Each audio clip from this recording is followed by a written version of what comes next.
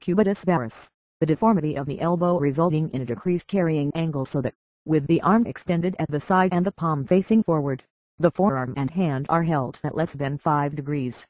There is deviation of the forearm toward the midline of the body. Cubitus is the Latin word for elbow and varus means angled inward. Cubitus varus is also called the gun stock deformity.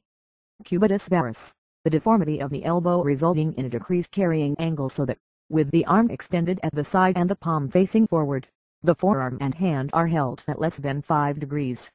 There is deviation of the forearm toward the midline of the body. Cubitus is the Latin word for elbow and varus means angled inward.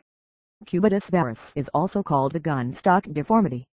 Cubitus varus, the deformity of the elbow resulting in a decreased carrying angle so that, with the arm extended at the side and the palm facing forward, the forearm and hand are held at less than 5